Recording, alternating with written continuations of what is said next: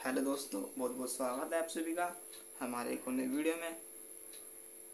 तो आज की वीडियो में बताऊँगा कि आप अपने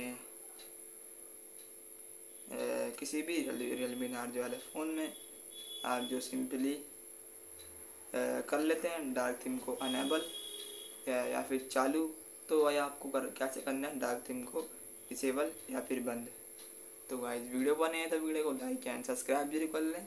तो आपको रियलमी नार्जो वाले फ़ोन में डार्क थीम को डिसेबल या फिर बंद करने के लिए फ़ोन की सेटिंग्स आप ओपन करेंगे और यहाँ पे आपको देखने को मिलता है। पे मेरा डार्क थीम अनेबल है मतलब चालू है। डिसेबल करने के लिए यहाँ पे आपको क्या करना होगा?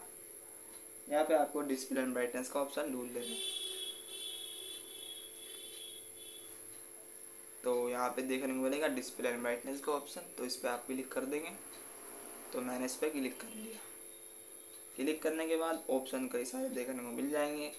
ऊपर देखना है आपको डार्क मोड जो कि आप डार्क थीम में हो सकते हैं।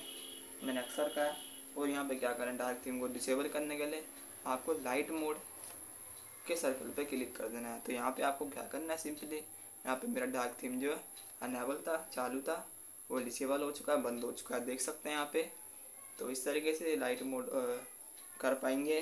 डार्क थीम को डिसेबल मिलते हैं अगले वीडियो में। Bye bye friends